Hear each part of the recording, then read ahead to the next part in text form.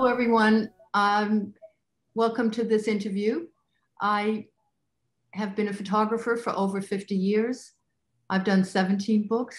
I can't even believe that myself. And I'm looking forward to uh, walking you through my journey today. So thank you.